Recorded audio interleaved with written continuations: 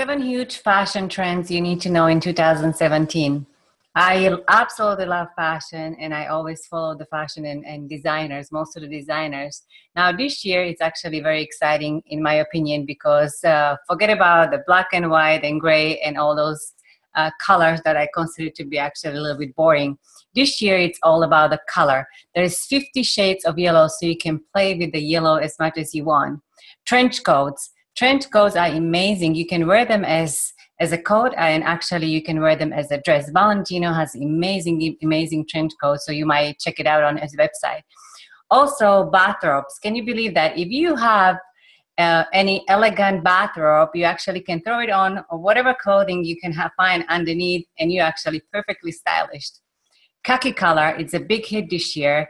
Designers actually found a way to implement this color that is a little bit masculine. They actually put these pieces and colors together to create amazing designs that we can actually elegantly wear every day. Banker stripe was uh, inspired by Wall Street, and again, uh, designers were able to make pieces that we can actually wear comfortably and elegantly every day.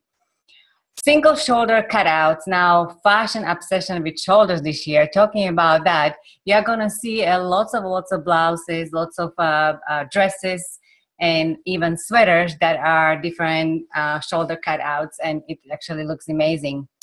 One of the things that I really, really admire and I love is the comfortable clothing. And this year, you can basically have any white shirt dress and you can wear it comfortable every day and you can rotate that in your wardrobe um, in, at work. One of the other uh, big hit in 2017 is uh, folder over waist, and I actually love that too because I'm actually too tired of being buckled up with the with the different belts that it's uncomfortable, uh, and at end of the day, it's kind of getting old.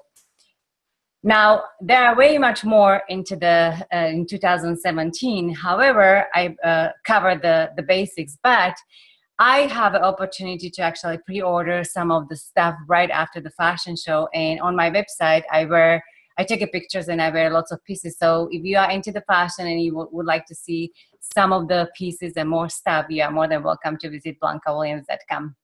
Thank you for watching.